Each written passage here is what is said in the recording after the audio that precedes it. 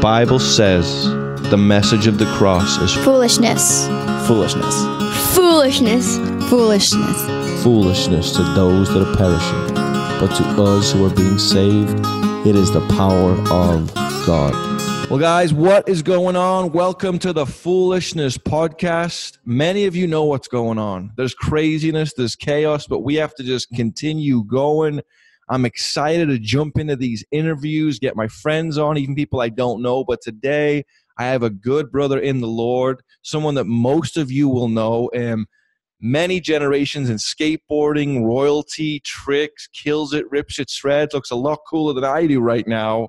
and my good brother, Pastor Eddie, what is going on? Hey, how's it going? Hey, Brian, it's great to be here. Great to be here. You're look. I mean, should I go get some hip glasses too, or Uh, what? You're looking. I, well, you know what? I, I've always I've worn glasses for so long, Yeah. and so um, ever since I started wearing, I would always switch them out. But when Yeah. I started wearing the white ones, it's like people recognize that. Oh, the guy You with stand the out. glasses. Uh, yeah, so I just Good. I don't know. Actually, I'm getting some new ones. You know, uh, uh, Mark Mothersbaugh from Devo. Yeah. Yeah. Yeah. Okay. He has a line of glasses, like these cool glasses. Yeah. I'm supposed to be getting some of those. I don't know. Just- Well, I might I as have, a- well, if I wear glasses, I want to like cool, right? I have a pastor friend in Costa Rica, and he's all tattooed up, and he's out in public, and he goes, "You know, I don't want the attention." And I go, "Look." If in that small town people could recognize you and know that you're a pastor and know that you're available, so if you're the, the cool looking uh, skater pastor with the cool white Devo glasses, so be it. but you know, I know we're gonna laugh and kick Yeah. it, and we've had some amazing episodes up here. Um, I definitely want to unpa- unpack your past and the things that are relevant to so many listeners. But just as we even talked a minute ago, what is going on right now? You had some heavy church meetings, and you're just navigating because you pastor a C3 church. Uh, what is going on today for Eddie, and what's the current situation? Yeah, you know what? It's just it's um, obviously what we're going through. It's Yeah. It's as old as since the beginning of time. Mm. You know the stuff that we deal with, and um, I think uh, I think now it's just becoming more visible because of the phones and Mhm. recording and social media, and so kind of now this generation is kind of beginning to see a lot more than what would happen in the Mhm. past. It would be Yeah. censored, and so you know, I even just the other day I called my. Uh, and you said we're gonna laugh and whatever. Yeah, I'll, I'll yeah. probably cry Oh wow.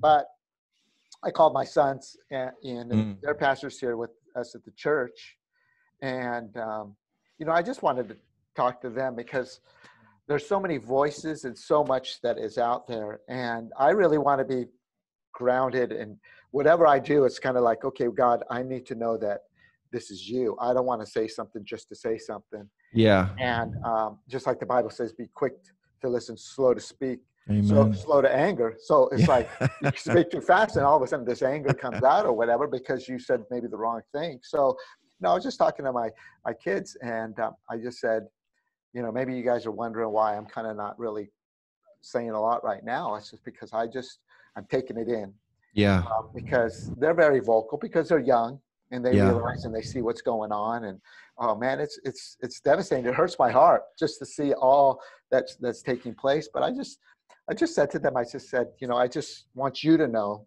that it's not that i don't care Yeah. i said um, even I, I did do one one post um, Mm. on the story and i said my my heart uh, aches uh, or words don't have I, I don't have words to say how my heart hurts or whatever just Mhm. basically I, I don't know what to say and Yeah. instead of just saying something just because it's the thing to do i'd rather just Mm. wait and so i just told them and and um, and they they appreciated that and uh, Because they're looking to you as guidance as dad, and and for those that, listening, pastor yeah. and boss and, and well, that's yeah. what I'm saying. You pastor a a big church, a denominational part of the C3, and you're still out in Coachella, right? Coachella Yeah. Valley. So Yeah. Coachella, right by Palm Springs. I know when I go out there with my wife and the kids, sometimes. Normally, Pastor Eddie's out there doing his frontside rocks and his blunts, and it's always cool to see you. I know we planned on doing this for some time, but but what you're saying is right. Even the gentleman I'll have on next, who's in his 60s, a black pastor in Long Beach, and he and just today, man, how you doing? We go for later. Brian, I'm drained. I'm devastated. I know God is good, but it's pulling people. And I think it is wisdom what you're just saying. Just English people out would process, but right now, um, is it politics? Is it racism? Is it anger? Is it hate? If we, like you said earlier, if we even say the wrong thing, people are so fired up. I mean, just driving down the road right now, it's so sensitive. Um, I, I went by the pet store to get my kid's pet lizard that I guess I've taken over on, and next door to it is a gun store. Oh, And hearing the people going in, which was crazy, it takes two hours now to get in there. Mm. And I just seen a statistic that 2 million Americans, last weekend, 2 million Americans went out and bought guns for the first time.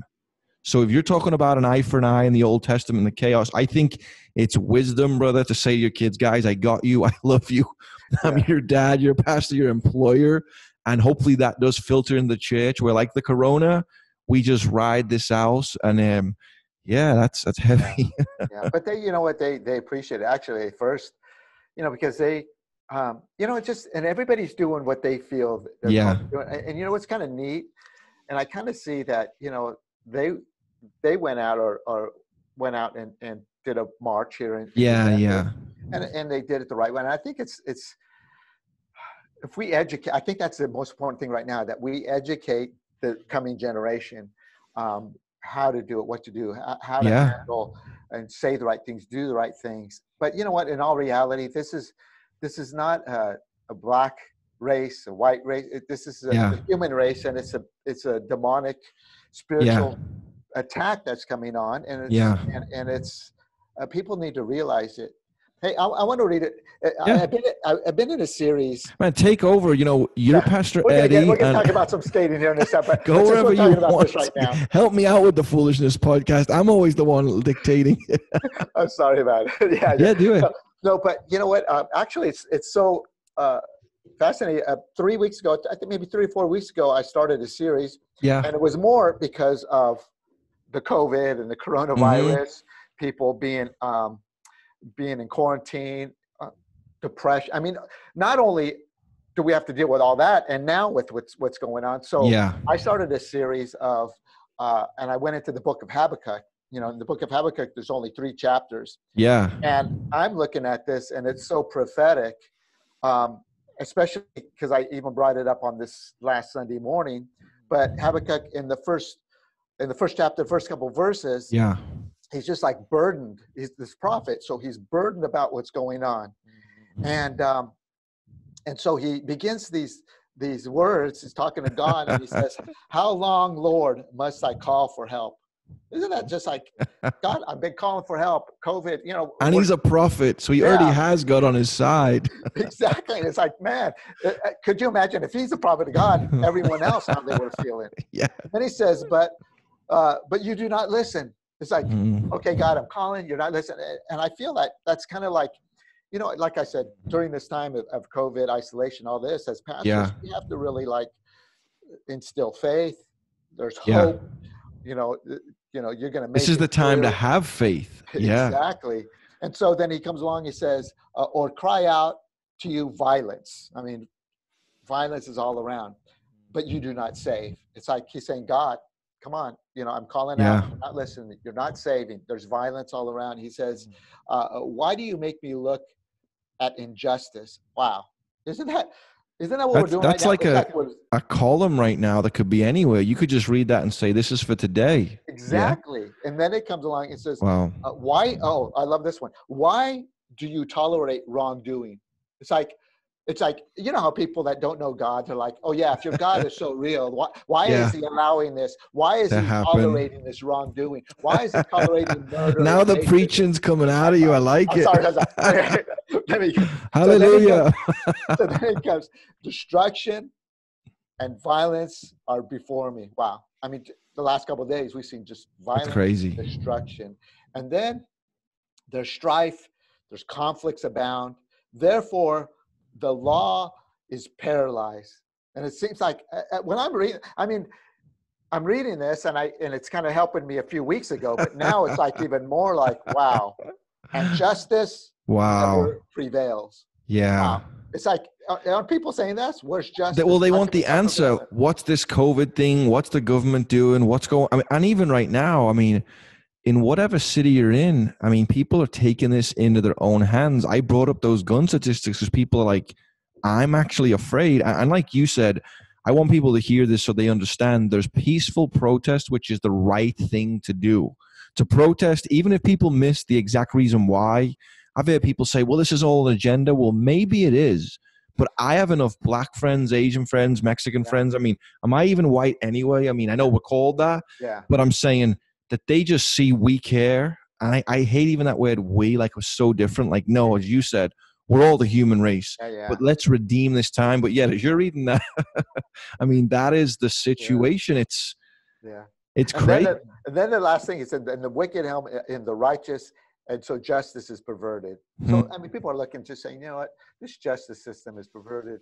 But what I what I love, so I started off with this, you know, like I said a few weeks ago, Yeah, three chapters. At the end of of chapter three, yeah, he has a, a shift. He's at one place. He's starting off with anxiety, the mm-hmm. situation, and then all of a sudden he comes around, and his his mindset changes, mm. and he he the same thing's happening because at the at the end in chapter three, verse seventeen through nineteen, it says there's no blossom, there's no fruit, there's no olive on the on the vine, no mm-hmm. food, no flocks, um, and, and no herds in the stalls. In other words, it's still it's still a bad time yeah, but he had a mind shift of realizing he comes, I will rejoice in the Lord. Mm. He says, I will have joy in the God of my salvation.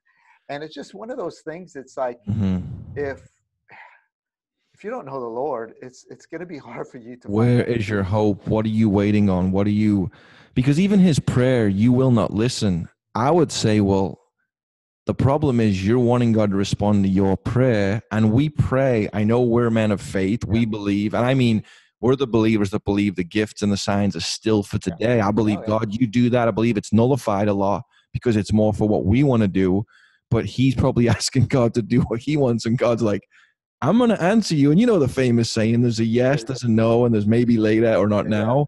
Um, so God is faithful for us right now. And, and I heard a guy say the other day, you know, the only time I, when I wake up in the morning, the first thing I do is to look out the window to see where we are in the book of Revelation.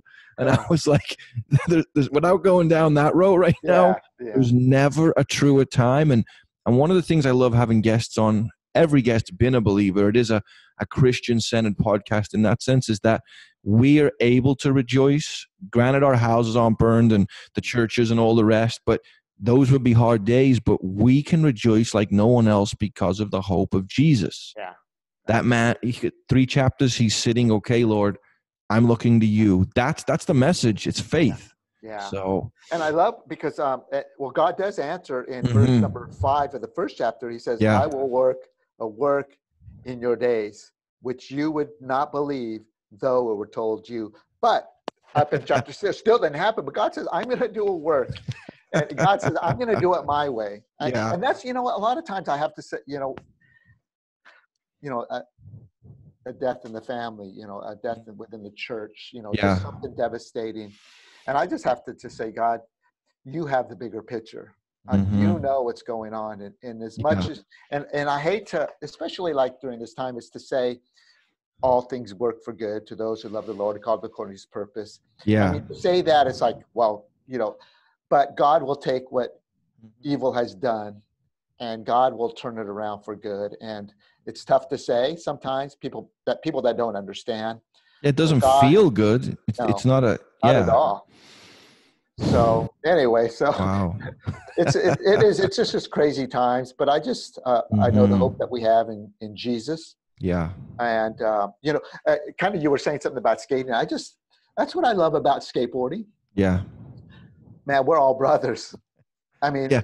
it, doesn't Oh, matter. I the, the mean, bigger picture, of course. Yeah. yeah, it's just like we we skate and we we love each other because we, that's what we have in common, and, and we Mhm. don't look at color. We uh, look at race, and and, and we see, and that's you know, I, I may have gotten in trouble by there by saying we don't see color, but because it, it I know. Well, that's not politically correct, and, Yeah. and you're saying that to because well, what's even your ethnicity? Eddie. Elguera. That's what I thought, and so And so I'm my brown. wife's, you know, you're brown. And so my wife's, you know, Italian, Native American, um, Hispanic, you know, whether you say Latino. I mean, when I first came here, I didn't even know all these things. So I was like, oh, he speaks Mexican. And they're like, no, it's Spanish. So, and, but the thing about skating is, and even when I get in the next episode later, I'm raised in a culture in Liverpool. It's very eclectic, very different groups of people Pakistanis, blacks, whites, everything. There wasn't a lot of Mexicans there, but you just grow up seeing the Fresh Prince. You see Rocky and Apollo. You Yeah. see Mr. T. I mean, Michael Jackson, Michael Jordan. yeah, yeah. We could go on. So to me, it was so far. And then to get to America and see, wait a minute, there really was this thing centuries ago. How sad.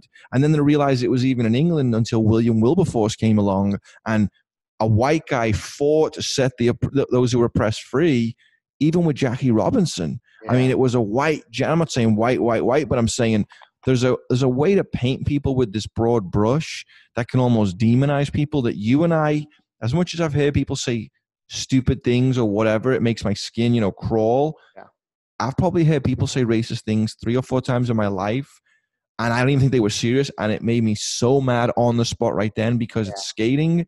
You get that skateboard, you go into the shop or the skate park, and you're just skaters. Yeah. I mean, it's the same way Bruce was Lee with martial arts. Mhm. Obviously, we know with Jesus because we're all made in his image, Genesis 1 26, 27. But I would like to get some of these politicians to go, and some of these cops, maybe, if they supposedly are hating in, in, because of race, go down to the skate park and see all the. My kids go to the skate park in Westminster. A lot of Mexican kids, a lot of white kids, few black kids. We go to the other parts of LA, a lot of black kids, a lot of Mexican kids, few white kids.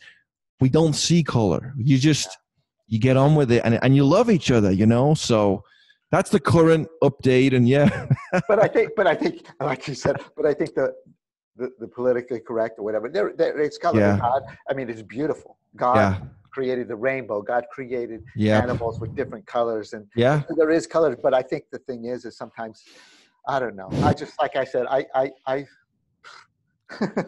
I know it's you- well, you know, if you go in, and I've looked at this a lot. You know, I love the old Chuck Misslers and then even the later Hebrew scholars, but they say even the word Adam, the word in the Hebrew implies red. And they don't know whether that means he has red hair and he was a white guy with red hair, which I heard someone say, which I'm like, I don't believe that.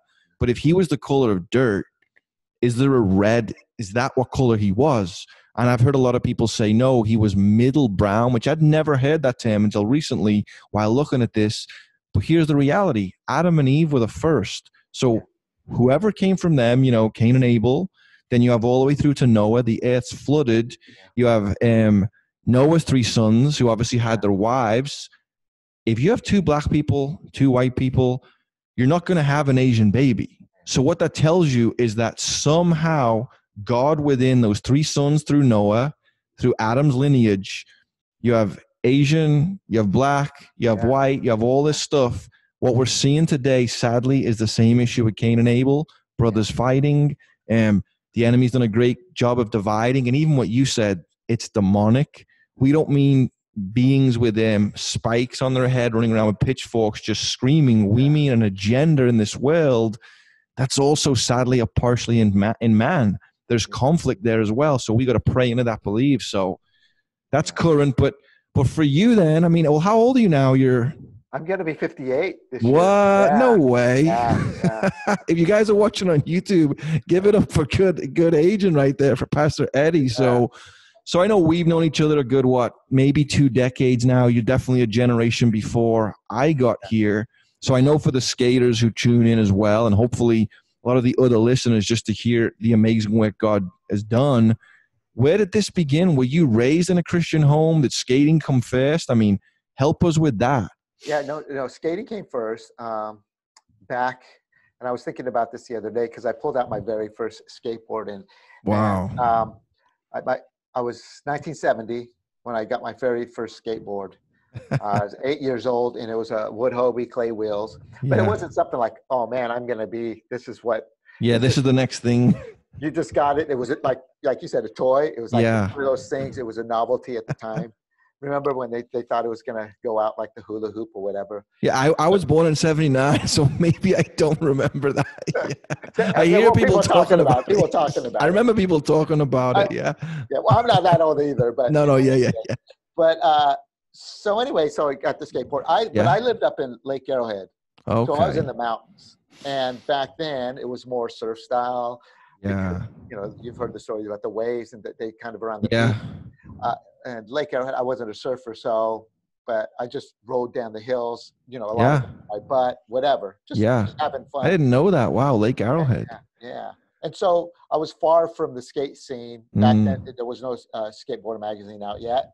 Um, you would see uh, ads in the surfer magazines. I Yeah. remember when Cadillac Wheels came out, Greg Weaver on Cadillac Kid, the urethane wheels came out. So that's kind of when things began to change. And then in 1975, summer of 1975, so this is five years later, I walk Yeah. into a liquor store, magazine rack, and I see this magazine of uh, Greg Weaver in a pool, halfway up, barefoot, and he has the same board as that I have. It's a wood Hobie. What? Oh man, I saw that, and it just it was so cool because I never seen that before. Yeah. And you know, halfway up the pool, but it didn't matter. It was just like Yeah. that looked cool, and I thought to myself, man, And you're 12 now, right? You were like, you're saying it's five years. Durant Club, Yeah, Wow. yeah. So I was like, man, one day, uh, one day I want to do that. I just, but, and then I, so I'd buy the magazines. I'd look through the magazines, front. Yeah. I mean, just like anybody. Once they once they get into skating, front, Yeah. back, read the articles, look at the pictures, hang Over and the wall, over. over and over. You, it's it's it's a Bible. It's like the Yeah. Bible to you. I say that it's religion. Yeah. exactly. And so, so I, every every month I'd wait for the new Mm. uh, issue to come out. But uh, it's funny because I started getting pretty good and doing better, and it's one of those things that I just said, man, I want to do this one day. I thought Yeah. it in a million years, I never thought I would be in the magazines, even though it was a desire of my heart. Yeah. Uh, four years later, I'm on the cover, Skateboarder magazine, Wow. doing a frontside invert, a trick that I invented. Four And uh, years Four later. years, and it's like from just seeing it and thinking, "Wow, Well, help Yeah. us understand that. How did the prog- so you see this cover because when I hear your name, I mean, I, I just even watched the footage of Hocus Pocus of you in that Hate Street video. Then, so there's been these profound contests and a crazy time in history, but I think of you and almost the the, the name, the claim that I would say the most is whenever Tony Hawk references who he looked up to, it's you. Yeah. You know what I mean? So as much as that's America, he's like, man, Eddie and Eddie and Eddie. So when you got that magazine and you're seeing, wait, this guy's doing that trick on that thing I have in the garage. It's basically a hula hoop. Who else? Who was the influence that took you from there to getting on the cover? Like, who were you watching? Jay Adams wasn't around yet, right? And was Christian no. down the hill, or were they still going? no, Jay Jay Adams." Uh, so you got the magazine. uh, Yeah. since it was from San Diego. Greg Okay. Weaver, he was Yeah. cover. He was a Cadillac kid. That's when the wheels came out. And then remember the Dogtown Z Boy movie? Yeah. The urethane wheels, and that's like That was already happening right then, huh? It was right around that time. So Okay. so then in the magazines there was a lot of uh, a lot of uh, San Diego's down south, Steve Cathey, Dennis Martinez. Um, Dennis. I mean, a lot of these older older guys, but they were in the magazines doing freestyle, you know, handstands and Yeah.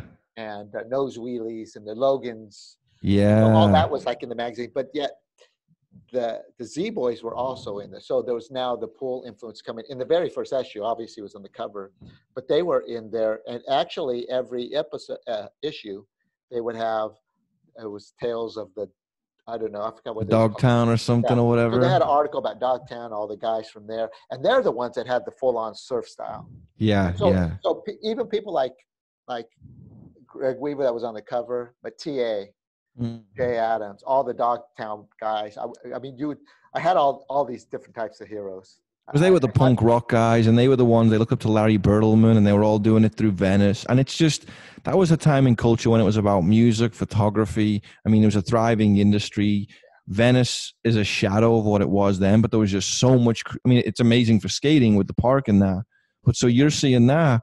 How do you make it down the mountain? Was there a skate somewhere to skate in Lake Forest, or would you? I mean, from Lake Arrowhead, or would you come down the mountain to these schoolyards now and connect with the TAs and the Jay Adamses and all the rest? Or Yeah, well, well, obviously, like nowadays you see the video, so so you see what they they do. So yeah, getting these magazines, and I see like a nosebleed, and I'm thinking, okay, how how does how do they do that? Are they just standing still, but then they're going? And you look at all these pictures. So I'm trying to to emulate and do these tricks yeah. without even knowing how they went. You know, I wanted to go I love hearing pool. this because did they have sequence cameras yet? Because that was my generation. You get like a trick tips page that was a two page spread, and it would be like in Rad magazine or something. It would be like a nose slide to Crooked Grind and nose slide Gazelle, and Oh, you'd yeah. be like trying to figure out what he. So was was there sequences at the time or no? They- They started having it, but still, even then, it was like, uh, I don't even know. And then we, uh, we didn't have no video cameras, or I didn't even really have cameras. Yeah, So- of course. So, we have all these, this, all this. Uh, Yeah, watching all this, but then like, uh, so I'd practice and practice, practice, not knowing. And then when I wanted to skate a pool, because there's no pools up in Lake Arrowhead, because there's Yeah. a lake there and some mountains. And Yeah. so um, I would hitchhike down with a friend down to San Bernardino Mm-hmm. and look for empty swimming pools, and we would skate some of the empty swimming pools, and then hitchhike back home. I'm probably now uh, 14, 15 now, maybe. Yeah. And uh, Wow. just trying to get good, trying to get get uh, better, and then not knowing how am I going to get recognized. Yeah. Um, I had some older brothers. They took me. Uh, they took me to Baldy Pipe. Oh, okay. This is probably like seventy six. Yeah. They took me out to like Baldy Pipe, and it was like. Su- have you ever been there? Yeah. Of course. Yeah. It's, it was super smooth at that time. Back Yeah. now it's so rough and Yep. so hard to. You need super soft wheels. They took me out to the Arizona Pipes. Uh, Mm. their legendary fruit bowl. There's a Yeah. Well, and I was like a little grom, a little kid. They took me when um, the first skate park, Carlsbad, opened up, and so they would Because they were this in. Were they this into skating, and you were just a little brother, or was it like, oh, we'll just go do something? Well, well, actually, because we moved up to Lake Arrowhead when I was in 1970. Yeah. Before we lived in in North Long Beach, Paramount area, so they would go to the beach a lot. So when we Okay. moved to the mountains, they kind of loved to surf, but I never got into surfing because I was too young. So they still had that surf style, but I, I Yeah. didn't have that. So they kind of got into skating, but they just they loved Yeah. that, and they were actually my my second oldest brother was was better than me. So we would go to all these places, but so we would go to all these these places, and but the thing that kind of made a the biggest impact Yeah. and kind of launched me into my career. Uh, Colton Skate Park was opening up in 1978. This uh, the um, the October 1978. Yeah. Hobie team was going to be there. Skitch Hitchcock. I mean, all, if, if you're older, you know these names. Some of these Yeah. people. I don't know. who I'm thinking these guys- 42 years ago. That's awesome. yeah. I know it is. It's like I, when I think about it, it's like wow. But it Yeah. seems like yesterday. And so um, uh, Dale Smith, he was he was there.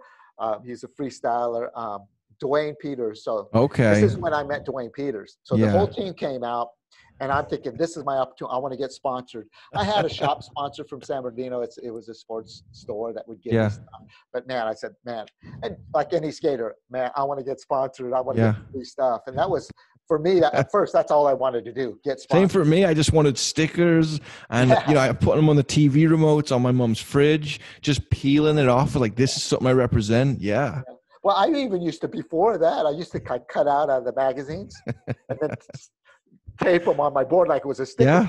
I, I couldn't get these stickers anywhere. I'm thinking, Yeah. And so anyway, so uh, Hobie Wow. team was going to be there. I said, this is my opportunity to show off my stuff. And so, you know, throughout the day, they're doing demos, and I'm skating the the 12 foot bowl, and then the, the Yeah. half pipe and stuff, and then and then Duane was there, and he was doing some extended inverts on the extension of the Yeah. pipe, and and so they came up to me that day, and uh, uh, Duane brought me these uh, uh, Hobie wheels, Hobie claw wheels. and Said, hey, Wow. they they invited me to be on the team. So that was So they noticed already. I mean, so you were you at a place where your brothers were like, Eddie, you're doing really well, or did you notice you were landing these tricks, or Yeah, I mean, I knew that. Yeah, like when I would go to different areas, yeah, I was pretty much kind of like one of the better ones. yeah, yeah, And so we would go to a backyard pool, and it wasn't like where people famous were, but Yeah. like, oh man, this this little kid's doing all these tricks and stuff. So yeah, yeah. I kind of knew that I was kind of pretty good. Yeah. But I, didn't, I, I didn't. I the the industry. I still didn't get the recognition yet. Yeah, yeah, that's uh, So that day, that's- so that day I got saved, and that was October, October 1979. yeah. And so, You mean got sponsored, right? yeah, yeah. you said you got saved, yeah, into no, the skate industry. Yeah, yeah, yeah. You No, got, I got sponsored, you didn't get sorry. saved through through Dane through through uh, through Duane. You got sponsored. Yeah, So, but anyway, that's why uh, me and Duane we became uh, Yeah. friends because of that. And it, it's, uh, I mean, we have stories after stories. But so um, got on Yeah. the team. Uh, they said, you know what, we want to start. Uh, you need to start entering some contests. I said, all right. I hadn't entered any bowl contest yeah, at that time. I entered a couple little amateur contests in San Bernardino, whatever, and did good, Mhm. won those. But then in 1979, and this is kind of when I look at kind of my career, how how quick it, it began. So in, yeah, in February 1979 was my first uh, uh, bowl contest. It was at Big O Skate Park. I got second place there. Then the next month, I think it was Skatopia. A couple of so, and then in April was the national amateur champion final. Yeah. I won first place in bowl. So from February to then, I became the national amateur champion. But then wow, I entered the next month, or later in that month, I entered. It was called the Dog Bowl Pro yep, and as an amateur because I won amateur. So they said go enter it as an amateur to see how it is. And this is uh, Tony Alva was in it, Hackett was in there, uh, Dave Andrecht, and you know just all the guys, yeah. They were the Uh, thriving Olson, guys who were. Olson, and uh, all these guys were in that contest. I think there was like 80 guys, and so it was kind of my first kind of bout about entering in and dating with these guys. And it was kind of cool because I had done at that time I was still amateur Yeah, but I did a frontside invert. Nobody was doing them yet. And so I was the first. wow. They're like looking at this, and, and I did a frontside invert. My hand was like on the tile, but Yeah. still, I, it, it, Where did you get a matter. frontside invert from? Was someone else doing it, or did you just start doing them? Or well, a, a lot of people. I mean, Jay Adams would throw them up. Uh, Yeah. people would throw them up, but they would always slide out yeah, to the drain. yeah, yeah. That's right. They would come down and slide around and stand up and walk out. Yeah, yeah, Okay. Yeah, yeah. So that's how they were. So I just kind of figured how to to make it so you kind of just throw it underneath and Yeah, land proper. yeah. So I was doing that. So it was man. So that was fun. But then I turned pro in in uh, June. Yeah, yeah. So it's kind of like Tom Curren, like you went up kind of like the uh, surf ranks, then got pushed into the pro ranks. And who would win those contests? Like the one you first entered that was your second, who was winning? Was it those kind of guys or I don't Uh, even remember now? Yeah. the, and the pro or the AMS? like the pro ones, who was then winning Oh. the pro? Is just Jay, I mean, Tony and Jay and those guys? And Actually, that's kind of actually it was kind of funny because I think a lot of those guys at the Dog Bowl Pro, that's kind of when it kind of there became a shift in Mm, bowl contests. yeah, The Hester Series was the very first bowl series. It was 1978, um, and that was uh, uh, Salba won the very first, very first bowl. I was just going to bring him up because you mentioned uh, Baldy because he's always skating that. Yeah, yeah, yeah. Yeah, So okay. he won the very first ball contest. It was part of the Hester Series. The first one, Spring Valley. Uh, Olson won the overall for the first year of the Hester Series. Wow. Uh, people like Blackheart and um, I'm just trying to think. It's just the Yeah. different names. These Mark- guys are still going though. Yeah. Pineapple and Dave Andrecht and those and So they Hmm. were all part of that first series. So at the Dog Bowl Pro at that time, it was kind of like there was a change into the guards because now there was a lot of amateurs that were coming up, like myself, Yeah. um, Eric Grisham. He invented like the foot plant, Wow. and a few other amateurs were coming up. And so it was kind of the change into the guards. But so then the Hester Series number two started, Yeah. and I'd missed the very first one. It was in Winchester because I was still amateur. But then I went to the my second one in Boulder, Colorado, and at that contest, um, I brought out the Elguerial. So it was the first time anybody was doing like a 360 hand plant. Yeah. I brought out the Elguerial and just doing like really good inverts. Everything else, it's Did you do frontside rocks yet or no? uh, yeah, actually I was a, in two contests later. I'll, Wow. Yeah. Get to it. Yeah. yeah, yeah, Take it. I'm just excited because my son's learning them. I'm like, well, I've got No, you I on you. I got to get the pointers, but you're bringing. See, here's the thing: because street skaters, we get thrown Rodney Mullen because Rodney mastered all the streets. But so you would be working on stuff. You got this frontside invert, and then the trick you're. So then what? You're winning these next few contests. Was there only really a contest scene, and were the Z Boys more like resistance of it at that time, or I was think- it? And, see, this is kind of where it kind of like uh, changed and it shifted because Yeah, at the first series it was mostly grinds, carves, um, rolling in. Mm, It began to do frontside airs, uh, little backside airs, rock and Yeah. roll. But there was kind of like pretty much, it was kind of more of grinding and carving. So when I came around, yeah, um, I had a coach Dale Smith. He helped me with the Elguerial. He says, you know what? Before you enter your first pro contest, he says, you know what? You're good. You can place top ten. You're going to be a good Mm. pro where you're at, just with the tricks that you have, the inverts, the rock and rolls, board slides, things like that. He mm, says, but you need to stand out. He says, I want to teach you this trick. And I was like, he says, this is what we're going to do. And he says, I want you, want you to meet me at the skate park. And he says, you're going to fakie. Because back then, Mm-hmm. fakie would, you would slide into a fakie, but there was nothing to come out of it. Yeah, you kind of do something and then you would roll up and then just go back or do a tail stall and go Yeah. back. So there was no tricks. And he says, this is what you're going to do. You're going to slide to fakie. And, and fakies were new yeah. do. So, and then you're going to go and you're going to flip around and, and put your hand and flip around and come back straight. and I'm all, no, I said, no, that's, there's no way. He goes, no, no, no, you can do it. You can do it. And he's saying, you can do it. You can. And so, uh, you know, I tried it. It went halfway up and landed on my back. And this is like in a 12 foot bowl. So I'm at, Had he tried it, or had he just seen no, it in no, his head? he, he was a freestyler. That's what I'm so- saying. Like, so this guy's like, okay, here's what I think you should do. Yeah, yeah. And, and so he was a freestyler. Wow. And he saw and he began to visualize these things. That's cool. What's kind of what's kind of funny though is I kind of look at it because back then, Eddie's uh, people were like, ah, Eddie as a coach, uh, a coach, and you know, it's kind of one of those things. It's like, no, skateboard, you do your own thing, but he yeah, was able to visualize and kind of walk me through. So he said, no, no, you have to turn your head and you need to go up, and Mhm. and within two hours, I I came up with the Elguerial. Wow, Yeah. that's and so that's what you unleashed. Yeah. Because I remember was I was I was with Hosoi and Caballero, maybe even Lance. You know, when when we'd just travel, do some ministry stuff, and they were just talking about when Mike McGill.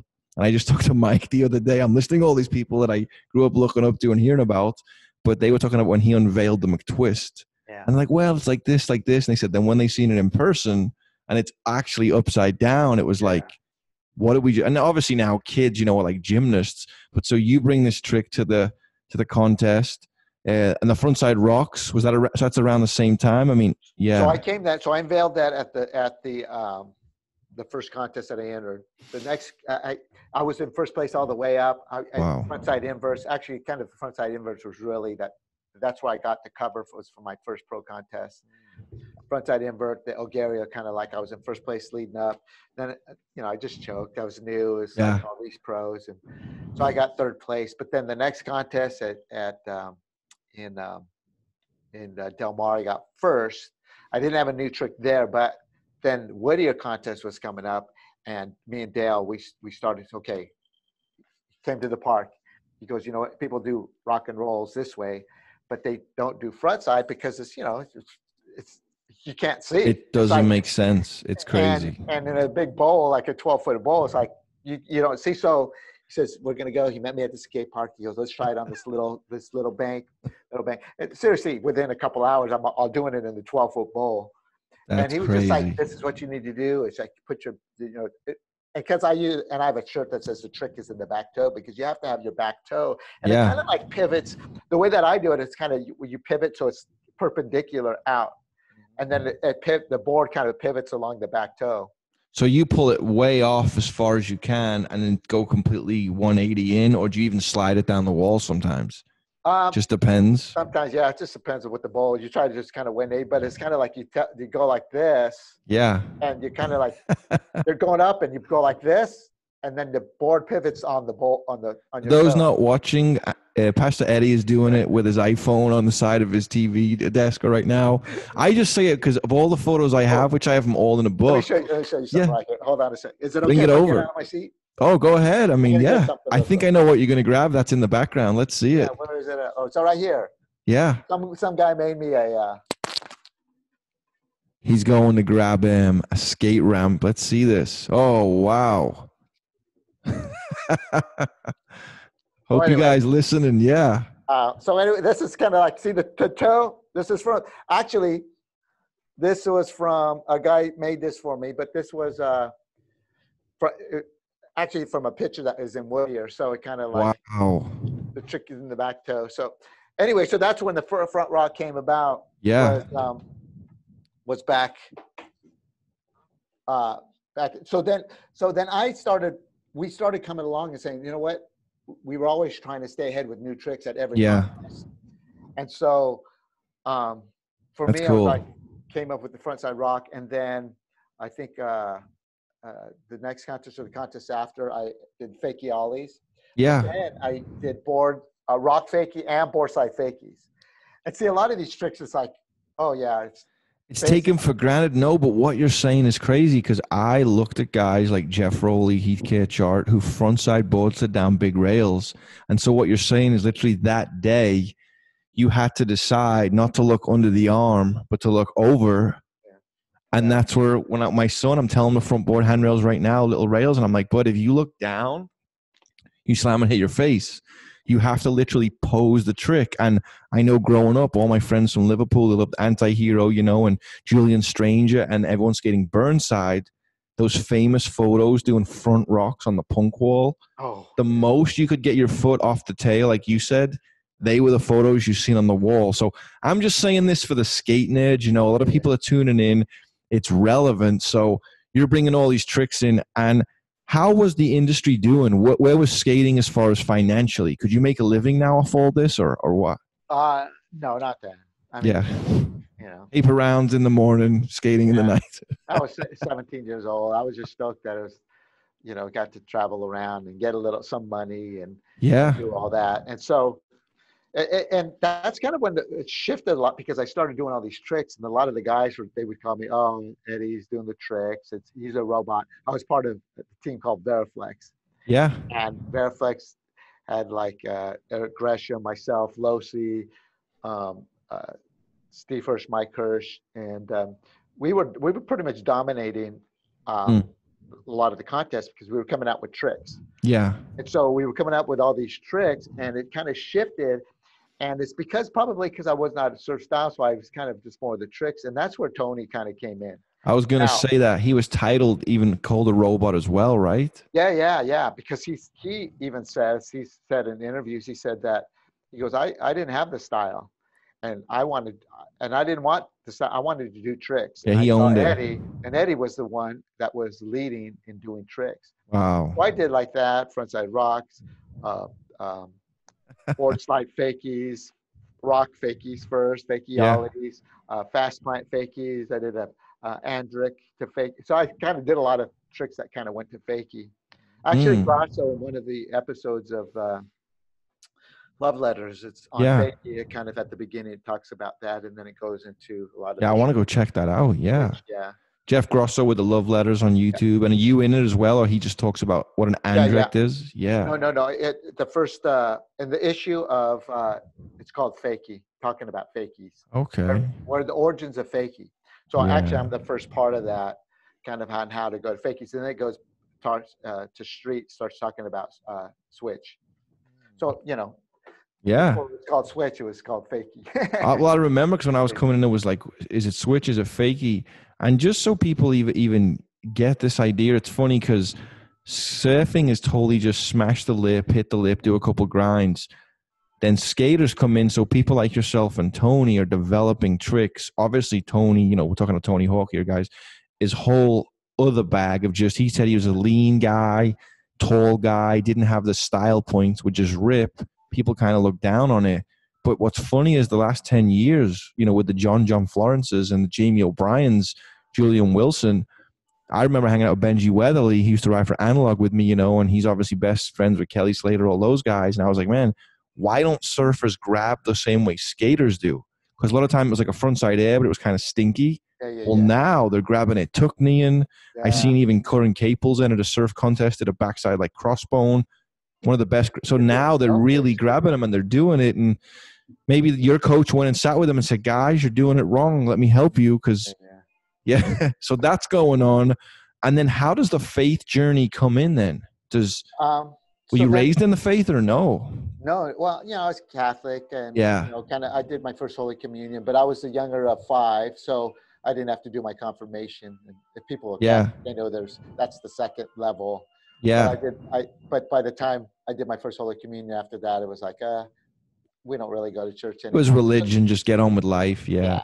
And so Yeah. and being Hispanic, that's kind of like what you do. Um, hmm what uh, so then that year 1979 won uh, skater of the year most spectacular new maneuver you know, Wow. all kinds of stuff the next year was gold cup series uh, oh I, I I won second overall in the series but i didn't enter the first contest Micke Alba won overall but everybody you know was saying if i would have entered the first one i might have won overall uh, that year as well because i missed the first contest but then the second year they changed it to the Gold Cup Series, and in the Gold Cup Series, I um, won the series. Kind of just still inventing tricks, kind of going. You're building your resume, and you're and now you're our kids around the world hearing about you and, and skating, and there's more people picking up skateboards, right? There's more Yeah, yeah. companies starting. Yeah. And then to being in all the magazines, and I was thinking too the other day. I think I in all my contests, I would never place under under fifth, Mhm. under fifth place. So it's pretty much always within that. Within that, round you were for expected second. to. a lot of seconds, a lot of firsts, and just so just kind of went there. So then at the end of uh, in 1980, I just kind of like at the place of uh, just like I was thinking, man, is there's there's uh, there must be more. I just kind of got tired, it's, and Mhm. and it's and it's like everybody that finds the Lord. It's Yeah. they're trying to find fulfillment, trying to Yeah. uh, fulfill that emptiness on the inside. That's what it was. It was skating wasn't doing it anymore. Uh, You know, like everybody, they try to find fulfillment in other things. So I I stopped skateboarding Yeah. um, competitively, and I just like I, I did I just kind of left. I Yeah. went down to Mexico for a little bit. Tried to I was gonna move down there, retire. Uh, my grandfather had a ranch, and I was like, oh, maybe I'll do that. But for Wow. three years, I started drinking, started doing drugs, and and uh, kind of just lost everything. Just kind of moved back to the mountains. Started Yeah. working at my brother's fast food restaurant. So it's it's like. you know, Why did that become the top. norm? Why did it go from something like productive? Were you were guys drinking and partying while you were skating, and you were kind of like got into it a bit, or were you like, okay, I'm just gonna go do this? I just yeah. I mean, I Yeah. think I did a little bit here and there, but it wasn't like I would always go to parties because I just wanted to be the best. Yeah. I didn't want I didn't want drinking and drugs affecting me. Um, I was kind of like the good guy, I guess, where the Yeah. gnarly guys they were the ones who were the partiers. But I just but but I did get into that partying and drinking and sleeping and all that in those Mm. three years, and then I ended up working at my uh, brother's uh, restaurant Yeah. and uh, this lady uh, th- this is uh, this is what i love. This is Yeah. like it's so it was so cool. It's because it's a resort area a resort town. Hmm lady comes and, and you'd probably like this. She lived in huntington beach. Okay. and so she was about she was about in her 60s she was up there just visiting for the day her and her husband. Starts talking to me uh, starts asking me like lots of questions about about just my life it's and but i could tell that she was going somewhere and i talked to her she skateboarding came up and this and that she's going you know what you're, you're never going to find fulfillment in skateboarding and, and the partying and the things that you're doing because the only way uh, you're going to find fulfillment is through Jesus Christ. The only way you're going to be happy is through Jesus Christ. And she got that just from a conversation. And this is like, I'm, I'm, And she didn't know you weren't a believer. She just straight went to like, here's what you need. Yeah. yeah, she just started talking to me and just, and just, you know, when you talk to someone, she goes, I, okay. And what was so cool about that is she, Yeah. she led me to the Lord that day. Uh, my mom got saved. My brother got saved. But uh, two weeks later, she came back up to the to the mountains. Came to the Mhm. res- She goes, "Did you find a church?" No, I didn't know I needed to go to church. No, no, no. She goes, "I came up last weekend and I found this church. You need to go to it. I'm going to come up again on Sunday. What? Take you to church." There she was. She didn't know me. She didn't care. uh, Yeah. She didn't wasn't getting nothing out of this. nothing. No, it was it was nothing. And so, and, and Wow. but what I loved about her, her heart and her passion for the Lord, and Mhm. what I what I loved is she used to tell me stories that she would preach at the pier in Yeah. Huntington Beach, and they would throw oranges and tomatoes at her. But she was actually Oh. just so radical. And this was uh, 1983, Yeah.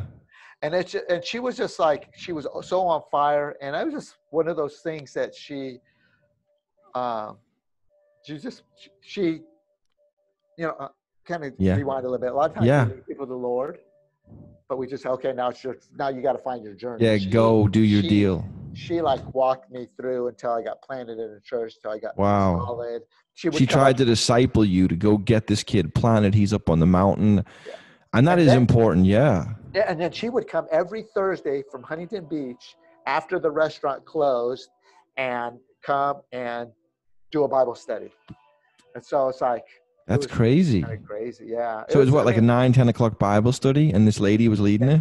yeah, yeah, so, yeah, so you got mad love for Huntington Beach then, huh? It's uh yeah, yeah, yeah. Just I remember. So you know, she she's passed on and Mm. has gone on to be with the Lord, but uh, it's just it's been it's pretty cool. Yeah, that's- music going on. There's some stuff going on in this. Oh yeah, I was yeah. So anyone listening, there's some music going on in Eddie's house somewhere. Oh. No, but so that all happens, and then how do you pick up a? Well, you know, I want to say something just because it's, I guess it's my podcast, and you're on here. We can do whatever. But you were close with Jay Adams your whole skate career, then, right? I mean, you guys were friends. I'm guessing a contest, seeing him running into him. Yeah. Yeah, yeah. And you know what? Jay was so he was so cool. I mean, Well, that's what I wanted to say because I only knew him the last like five or six years of his life, but just his journey. Explain just for people listening because it's now a missing, not, not missing piece of history, but my experiences with Jay, and I say this a lot on the podcast on purpose, was he was like this kid that was so hungry for the Bible and the Word of God, and, and, and I'd see him places, and you know, obviously, we all went to the same church for a season, but he just had questions and he had a desire, and Oh, but just just for you to even say this was the kid i met and then this is what happened and then even his christian life you know just just for people listening Yeah, well, well, when I knew him, I mean, at first knew him. Obviously, he was Yeah. he was a skater, just famous, radical, just crazy guy. yeah Super head, got the zebra tattoo and all that was going on. but um, but he was a still he was a genuine guy. He would be Yeah. like, Eddie, man, it's so rad. It's just he, he would always encourage me. Mhm. Just and he was one of my heroes, being a Z boy.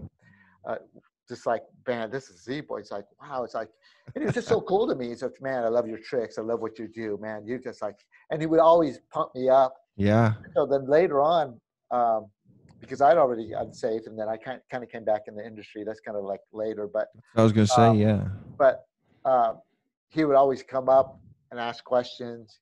He'd always talk about the Lord. He he knew what I was doing as a believer. He would Mhm. um, he even at the towards the end of his life. I mean, when he when he passed, yeah he was he was in in Mexico when he passed. surfing yeah He's texting from down there. He said, Eddie, when I get back, we got to go do some outreach. We got to uh, we got to just Mm. start preaching the gospel. He's basically just saying we need to go on tour and start, you know, uh, yeah ministry.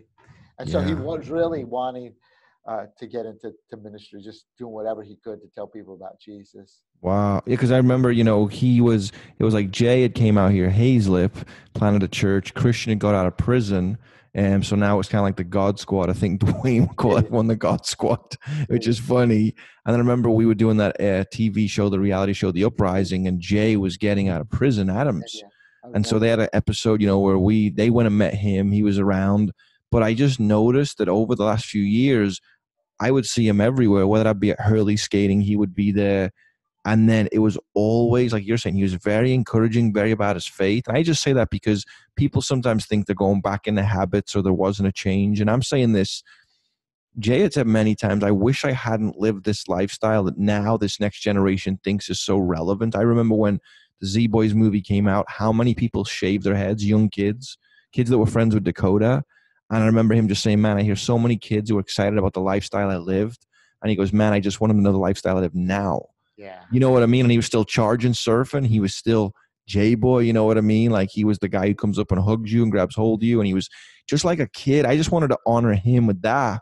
That Yeah. sounds cool. So, I mean, if he was still around, he's in a better place now. yeah. It'd be great if he came walking through my door now, but he's not. I don't need him to be here. Praise God, he's gone on to be with the Lord. But he'd have been out reaching Oh, the next yeah. generation and doing Oh, what he's yeah. doing. So, Yeah. okay, so that's all going on. You are now going to this church. Okay, how do you get back into skating and, and just even jump from there to, to you're a full time pastor? I mean, I coming from England, we think of pastors as like Friar Tuck. We just know the Catholic Church, and you know, a guy with red hair, a bald head, and a, a bigger belly. You know, maybe kind of like mine's getting. But no, you're like at the skate park still. You go all over the world. You do a lot of stuff in Brazil. Yeah. I know we were both part of the Skaters Bible. Yeah, skate You know, a big project with Pastor Bruno. Shout out to him. You know, Parabuns. A lot of that. So just just take us into that because I want people to, to meet a pastor. Yeah. You know, in that sense, yeah. So, um, so 1980. So I stopped in 1980. 1983, get saved, Yeah. get planted in church, going to church. Uh, 1986. I still wasn't skating competitively. I was kind of. I'd go here and there, do a few things. Mm. But um, so anyway, um, in 1986, I God begins to start speaking to me. Mm. Now, yeah, can you can you hear that music a little bit? Yeah, I'm, I'm, I'll. I mean, if it gets louder, I'll try and get moving with it, but I can't tell what it is yet. Okay. Is it your son or someone Yeah, playing? they're, they're uh, going to tell them. To, is it okay? Oh yeah, no, it turn this down or doesn't. Okay. It doesn't matter. Yeah, I think there's worse things going on outside the walls than in the next room. So anyway, yeah, gets crazy. So, so Yeah. anyway, um, 80, 1986, I Yeah. God begins to speak to me about going back in the industry, start skating again. And at first, it's like, man, I don't want to do it. Uh, one of the reasons, like, I'm not going to be the best anymore.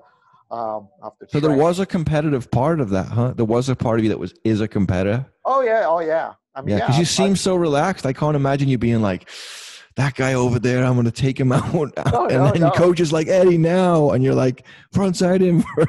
okay.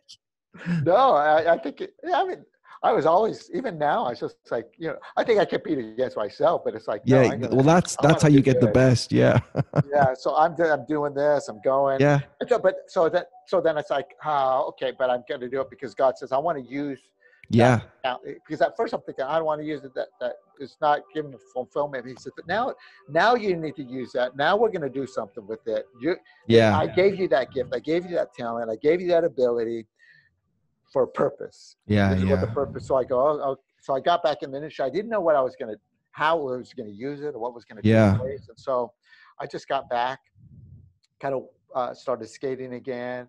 I started going to contests because contest was, you know, that was basically you had to be in contest in order to to survive. to thrive in the vert pool well that's just what you I, i've said many times one of the first things i ever seen was a rerun of the bluegrass aggression session and i was like oh that's what skating is it's just a bunch of guys tony had his crazy hair i think christian or whoever had cut off shirts and it's kind of this whole 80s play that's where you go and present yourself. So you have to go get back into that realm. Now you're a believer. God i don't know what you're doing. And then what what happens? How do they greet you? What's different? Yeah. So at this time now, Tony Hawk is the man, Christian Hosoi, all these amateurs. See, when in the Gold Cup series, when I was at the top, all of them were amateurs, and now so now I'm coming back in, and all these guys are at the top. They're doing McTwist. I mean, all this stuff is taking place now, and I'm just kind of getting back in, and and uh, you know, it's, it was tough. You know, I kind of worked my way. I never got to the very top again, but I still started getting it back. hmm And so um, started skating, and then I met um, uh, a guy by the name of Andre Walton, and I knew that I wanted to use skateboard, but I didn't know how. He had a skateboard ministry, and he would go to youth groups, and he would do his freestyle because he was a freestyle, do 360s and you know all that stuff, and flip the boards and kind of crazy stuff. And then he would just talk to the kids, give an altar call, and kids would get saved. I'm like Yeah. and now being a Christian, I'm thinking, oh man, awesome! It's I want to see people Yeah. get saved. Every time you see somebody get saved, it's like, wow, you know. It's awesome. amazing. Yeah. Yeah. That whole day was worthwhile. Yeah. And so, and it's like, and it was relatively new. No, nobody had ever really done it before in the Mhm. it's like, and so he told me, he goes, I want you to come. I go, but you know what? I can't speak in front of people. I just, you know, I don't speak in front of people. He says, no, no, no, just come, just tell them how you got saved. Just say, hi, my name's Eddie Elguera. They're going to know who you are. And he kind of was saying he wanted me to come because I was more famous than he was, but yet it's Yeah. he was using the ministry. I go, "Oh, all right. So, you know, the first couple times I say, hi, my name's Eddie Elguera, El Gato. And just, you know what? I, you know, I just, um, this is how my life used to be. I just basically what I just told you. Yeah. You know what? I just uh, gave my life to the Lord and now I'm living for God. And basically, and then I would just kind of go to the side, just a little, maybe five minutes. And then he would come in and give an altar call. Kids would get saved. You were like the woman at the well who went back into the city and said, I met a man who told me everything I did. And that was enough. yeah, yeah. You know what? I heard someone preaching the demonized guy. He didn't go to seminary. Seminary is a great thing. Yeah. He wasn't even discipled yet. Yeah. He just went and told some folks, this Yeah. guy did this. The spirit will get a hold of them. Yeah.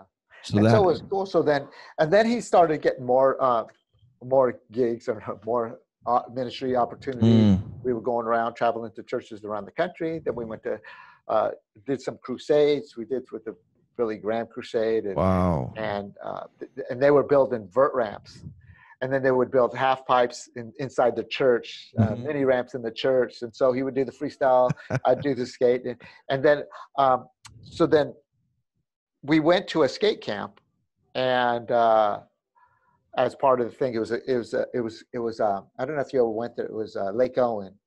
Wasn't it Visalia? It, no, Lake Owen. It was it was The YMCA one or something? It was one of them. Part of Woodward? it was the the sister That's right, because you mentioned something about this years ago. But go on. So this is when there was a lot of like known amateurs or people there or something. Yeah. Yeah, so this was in in Lake is in uh, Lake Owen, Wisconsin, and it Mhm. was a sister camp of Woodward. So uh, we went there. It was a secular camp, but they would have a thing called prime time, and then they would let us, you know, it was uh, if you want to come, you could come. They're going to share their stories, and so we went there just more for one week, and then uh, the owner of the camp, he was just saying, "Hey, you know what?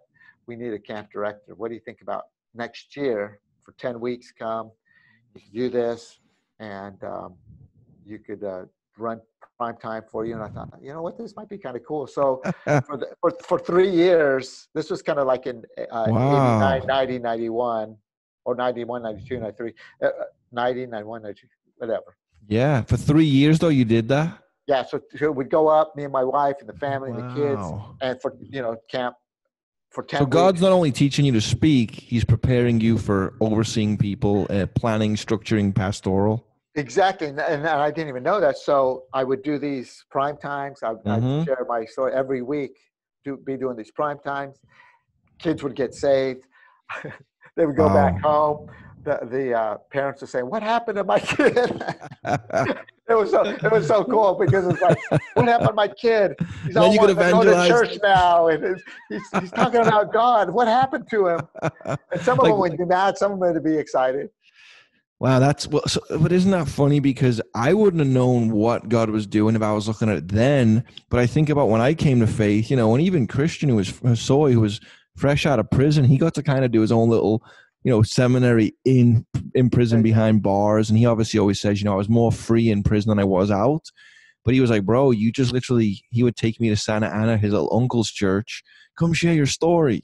And I already speak fast because I'm English, but I would go and just shout at these like 40, 50 Mexican kids who were all about to skate the ramp. Listen, guys.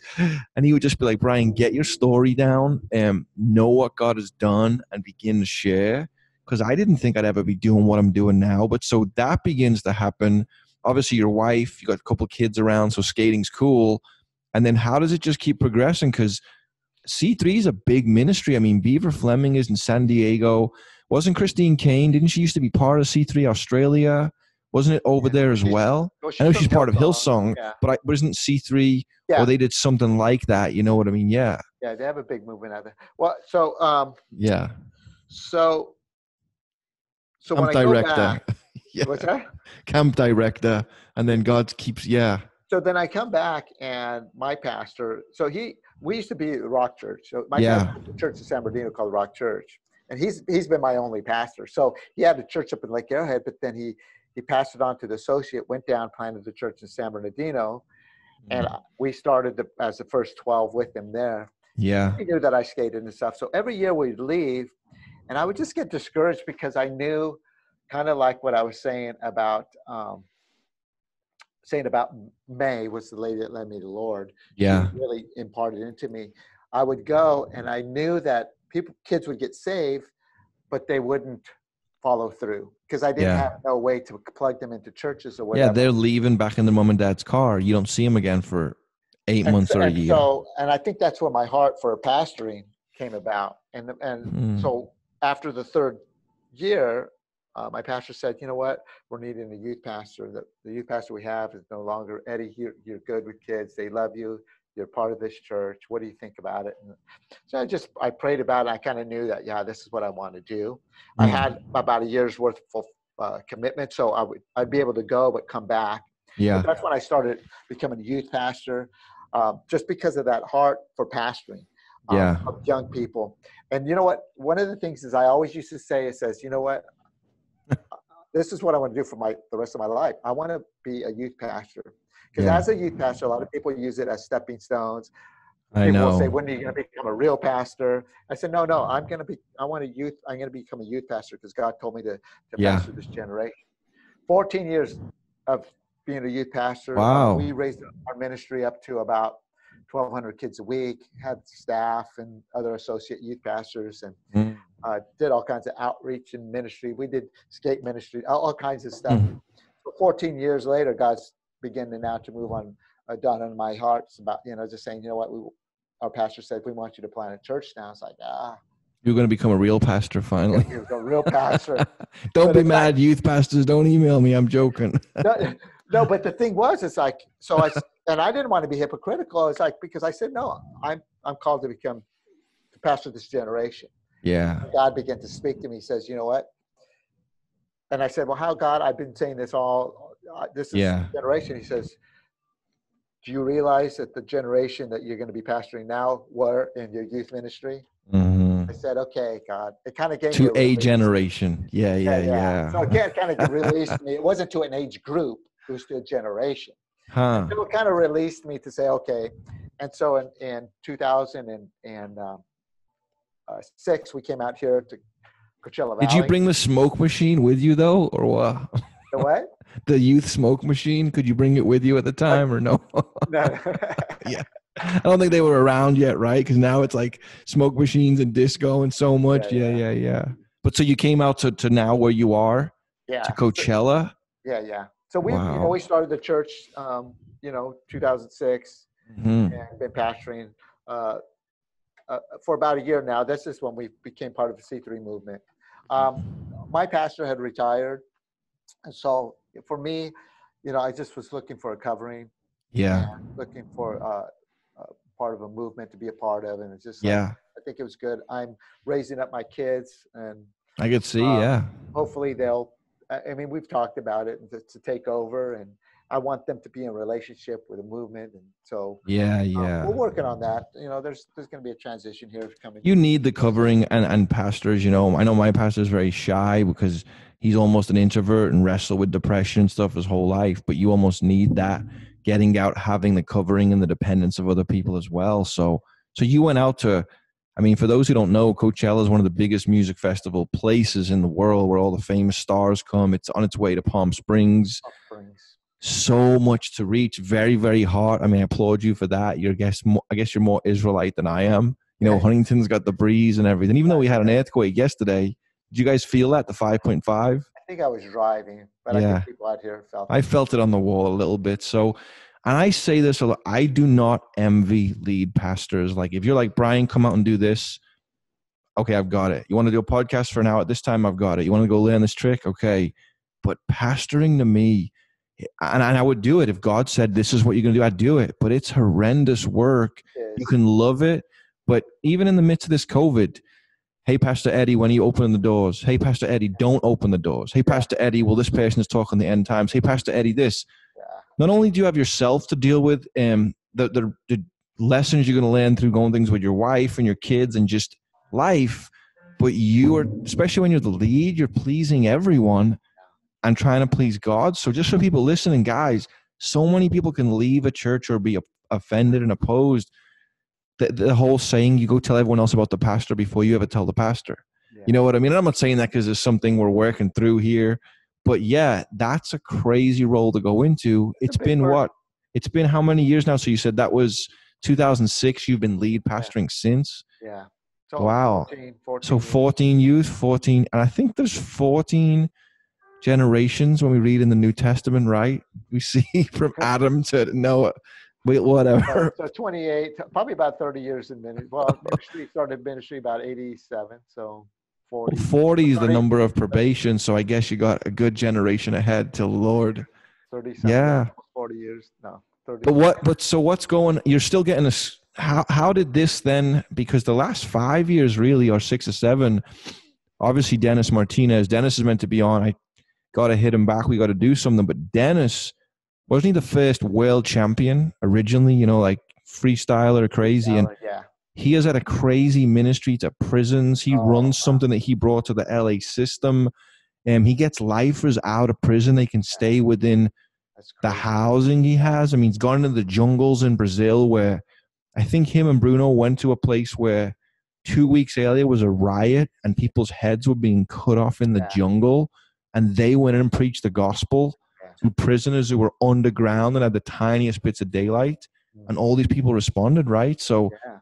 How do you go from being a pastor at a pretty serious church? I mean, there's a, there's a movement to, hey, I'm also going to get to travel and do, I mean, it's necessary. You're an evangelist at heart in that sense. How do you juggle all of that? Yeah, and you know, I think that you said it. You hit the nail on the head. It's like I think in deep down in my heart because I started as an evangelist. Mm-hmm. It's always it's always been there. Yeah. So whenever I have opportunities, I just I love to to be and I think it is it's it's it's who you are. It's who we are Yeah. as believers. You go to the skate park and there's an opportunity. Um, I went yesterday. The, skate parks around here are closed, so I drove to Redlands just to roll around for a little bit. Because Did you get to skate or did you have to stop because you started witnessing to someone? Because that's how you know you're an evangelist. yeah, yeah, yeah. Well, there's a couple kids there and stuff. And obviously, and you know what's what's amazing too? It's like here I am, almost 58 years old, but yet little kids will come up and they're like, Yeah. "Oh, are you sponsored?" Of course, when you drop in, I've seen you skate. I mean, you you you skate a bowl, rip a bowl. I mean, do tricks. I mean, my kid's like, "Wait, what's this guy doing?" And then now after seeing you for years, I'm like, "Of course." So, but that's another way to reach into into their lives. Yeah. Hey, you sponsored well, and so you say, "Yes, I've had a history. I've been around." Yeah. Skating against a family breaks down the barriers. So you get to Redlands, then these kids come up. Yeah, Okay. we just you know start talking, and obviously you talk about the Lord, and but just going like to Brazil, and there's opportunities to go, and uh, to, I, I don't go to the prisons. I, I'll leave Yeah, that, yeah. I, will leave that to Dennis. But Yeah. uh, or you know, to go to Italy or just I mean, this. um, you know what I loved? It was amazing too, just going to Israel, yeah. being able to skate. And there's like 20 some, 28 skate parks in Israel, and so it was kind of cool just to go there and just being 28 skate parks in Israel. Yeah. just going on I- the Holy Land and just being there, just uh, oh, skate what Jesus would have skated. Yeah, I haven't been. I haven't been to Israel yet. I keep Oh, meaning to go, and then this whole thing kicked off, and Oh, I get invited by so many different people. I'm like, well, who would I go with to get the best experience? I want to hear the most, but get to relax and enjoy the most. That's it. Yeah, there's a we couple need to people. travel together sometime. I know. We need to go on a trip someplace. I don't know. I like to know. Go, go. Well, I'm I'm still- antsy, I'm antsy now because you know I, I like to go. So my my son, uh, one of my sons works at the airport. So he okay. gets eh, for the United, so he gets flight benefits. So that's why I get Yeah. a lot. So it's like, I, How I'm can you not antsy. go? I'm Yeah. I'm like, I want to go. But also, go. when you come back, when Pastor comes back, I mean, I know our pastor doesn't. He doesn't like to fly. He'll go for a wedding or something. He's like, leave me alone. But when I go travel and come back, there's something about walking into the home church and hearing those songs and seeing those people Yeah. and getting coffee off so and so or whatever. But then you're refreshed to pour yourself out. Like when I go, I mean, I've said this. I'll go to Costa Rica for ten days. You preach nine or ten times, and I'm literally like, Lord, I had no idea when I was this booktooth kid in England, this is what I would be doing. I mean, it's full time ministry. And even now, you've definitely seen the benefits. I said this a few episodes ago, but I was on a Zoom call with a kid in the Philippines that just simply said, Hey, would you mind jumping on this Zoom? Um, we've never done this before. We'd love to do it. There was a hundred kids almost on it. and they don't get to go out of their house but twice a week. So whether they're tuning in because it's a pro skater or whether it's because this is American or whether as a pastor, but they sat for an hour and a half, like two hours, and afterwards they message me, "Hey, pastor," you know they all talk very like like, like Brazilians. Pastor, they always make sure that the the title's there. But I'm saying, here's this kid in the Philippines that using media like we're using, and even talking about evangelism, guys. This podcast is all about evangelism. It wasn't going to reach people and encourage them. So now you've you went to Brazil a load. You were even in Australia a lot, right, for the Bondi Bowl and seeing a lot of. I know my friends out there were like Pastor Eddie's in town. So what is moving forward? I mean, you opened us up with some verses from one of the minor prophets in the Old Testament. Today, moving forward, you and your wife just like, all right, whatever's next. Are you able to gather as a church yet? or did you just do it this past uh, yeah, week last, or last Sunday? Okay. Patients and you know, and, and it is everything's changing day by day. Who knows? Like I think in next week they're supposed to say yay or nay or yeah cut back or whatever. So wow, uh, we're just kind of just taking it uh, day by day. We're we're definitely upping our our our streaming. yeah, um, focusing more. Um, we, we've invested some some finances to make that better. We've always Mm. done it, but just to make it better, a better experience. Because we don't, you know, who knows? yeah. Who knows what the church is going to look like? But I know. I did hear, and I said it a few weeks ago, but I heard that Target, many Targets sold out of Bibles. So, amen. I know most online streaming is going through the roof. yeah, I know a lot of people are starting to read the book of Revelation, and some of the even homeless people I've shared with downtown, they'll go, I don't believe yet, but I know I'm not taking no mark of the beast. So, yeah, yeah, yeah. the Lord is getting a hold of people. And if anything, you know, I even went in a store today and I seen some of the surfboards and whatever else, and there was even like a, a, a knife gun section. And literally it said at a massive sign, it said, Hey, in, and I thought it was amazing because maybe people are going in there to look for guns, but they said, Hey, if you were in this season and feeling depressed or suicidal, please call. And I was like, man, when Big Five is putting that sign up, whether that's just the, the manager who's got a heart for those who are struggling, whether it's a believer in there, but that's where we are. So I know you started with talking about, you know, the hope that we have in the rest, but what would you as a pastor? I'm holding this together. You know, I trust the Lord, my wife, my kids, we're living this thing out. But what would you say to that old skate guy right now who's in North Carolina or the or Australia or just just mad, doesn't know anything? Wh- Where's the encouragement for him? And then as believers, you know, what would you say? Um, I just, you know, basically just say, you know, um, you see that what's what's going on, and, and I'm Mhm. sure it could be discouraging. I'm sure it could be frustrating. I'm sure Yeah. you can even be angry with God. Um, God, why? If there is a God, and that's the thing is, is when I first started off, is a- Yeah. a, man of God, a prophet, was just saying, God, what are you? What, what's happening? Why is this taking place? And you know, I just always have to put it back. It says, you know, God, God knows the bigger picture, Yeah. and we, we, I, I have to just trust Him. Yeah. So, you know, if you've never known the Lord, you Yeah. haven't trusted God, and you just, I, I, you know, my- my thing is just put it out there and just, just take a step of faith, I and that's what Amen. Christianity is all about. It's just it's it's faith. hmm You you can't. Don't wait till you can see it. Don't wait till you can feel it. Don't wait till you can uh, tangibly experience it. But just a step of faith. Okay, God, I'm just going to trust you. I'm going to trust in your Son Jesus Christ. I don't know everything, and that's the thing is, is as I always tell people, you don't need to know everything because you'll never know everything. Yeah. And Yeah, we're still learning stuff even here now. It's just using this verse or we're saying that we're like we're unpacking new things daily. And I just, you know, back in 1983 when I said yes to Jesus, Mhm. yeah, there was a couple years there. I was like, it was sketchy, it was hard, I- but I pushed through. But I, it's been the best decision that I've ever made in my life. Mm. Since 1983, Jesus Christ has been Lord and Savior of my life, and I just, as a world champion skateboarder, Yeah. look to that to be part of my life is as my identity now my identity as a son one of god's kids Amen. and so um you know if, if anybody's out there just you know you Yeah. maybe you did at one time but you've kind of walked away hey just Mm. god just come back i want i want to i want to get on fire for you and i Mhm. think and i believe if you're watching out there you're not watching by accident. You're not watching by mistake. I, I really believe with all my heart that there, there's someone out there that that God wants to use you in a powerful way, Mm. especially right now when many people can't meet in a building, Mm. but yet you have influence with people that are hurting, that are discouraged, that are depressed. Mm. And the hope is not in the government. We pray for them. Our hope Yeah. is not in a paycheck. Many of you may have lost jobs, and may make our, our hope is in Jesus Christ.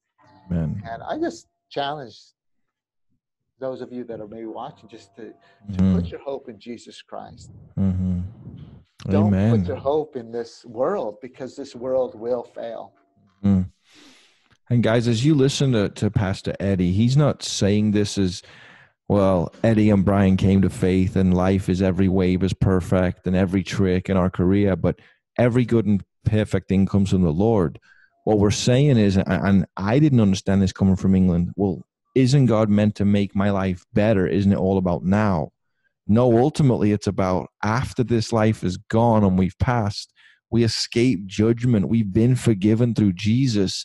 That's what the cross is for. Someone had to pay the price, and the only one that could do it was Jesus Christ, God in the flesh Himself. We read through Romans and Hebrews. Yeah. But now, while we're here, here's this man, Eddie, and his wife and their kids, and they're serving Him. And it's not always perfect, doesn't always make sense. Even the prophet's asking, Lord, why aren't you listening? God's God, we are not. But just as Pastor Eddie said, as you hear this, God is good, God is faithful. He can forgive our sins, He can set us free. Um, I loved my skate career, but there's nothing like walking with Jesus. And if God used that in this season, thank you, Lord, for redeeming something we love.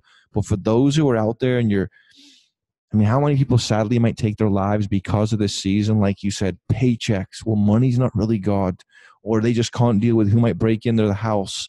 God's the author of life. God is faithful. Get to know Him. Open up that book. Get planted in a church. Get around a pastor that will will hang out with you and love you and spend time with you so you can grow. Because guys, I didn't grow up with Eddie. He didn't grow up with me. We're just skaters who probably seen each other in magazines and we have the same friends, but we're brothers now in the Lord. Like Ray Barbee a few episodes ago, like Jamie Thomas. If you haven't figured out by now, this is God speaking to you through some podcast while we sit and giggle. But really, the Lord's getting you. So, anything you want to say?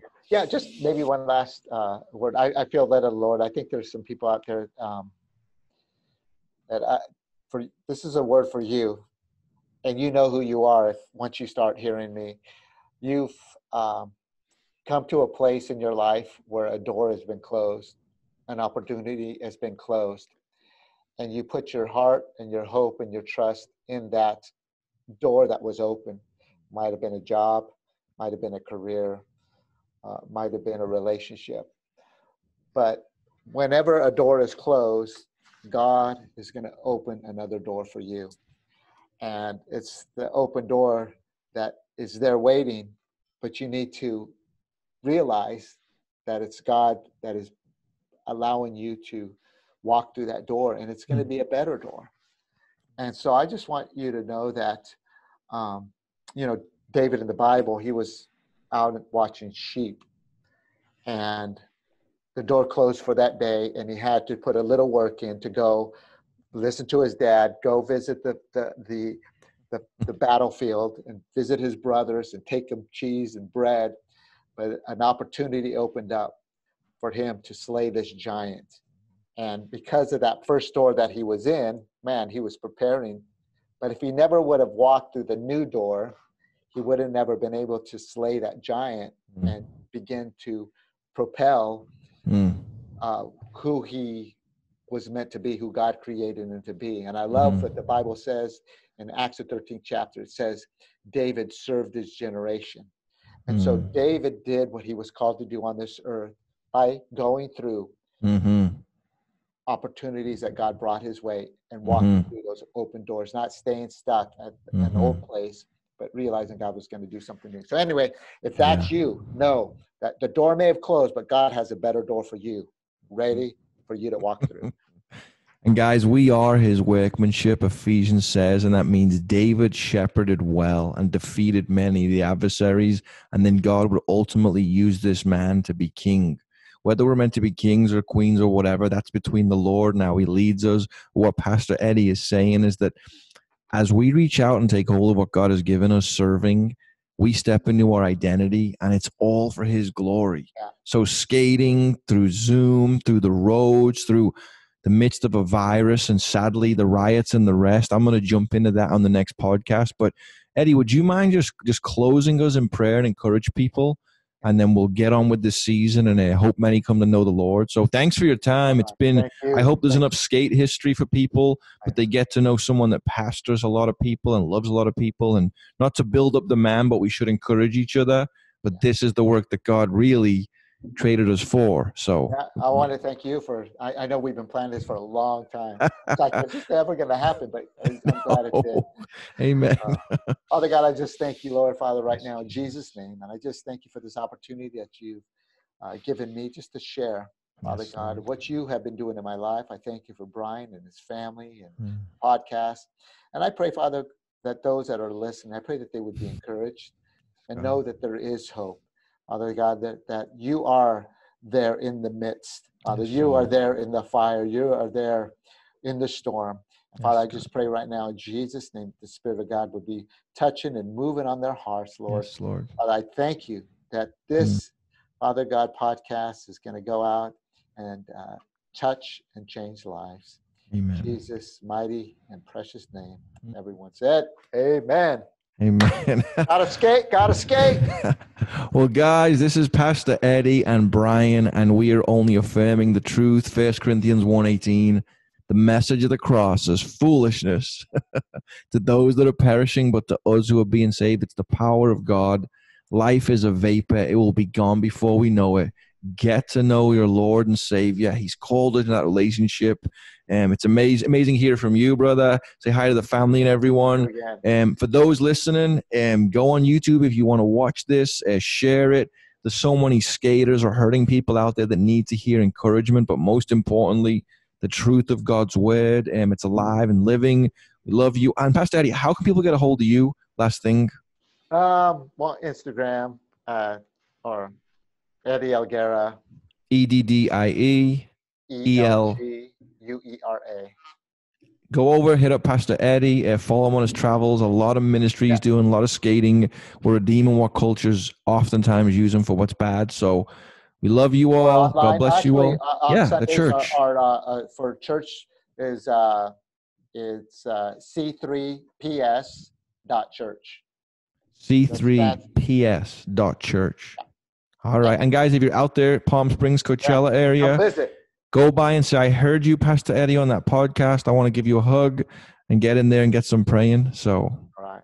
all right, brother. God bless. All right. God bless you. Let's see. We got to go traveling soon. Let's do When it, it. when it opens up, let's go. let's get on a plane and hit it. Amen. All right.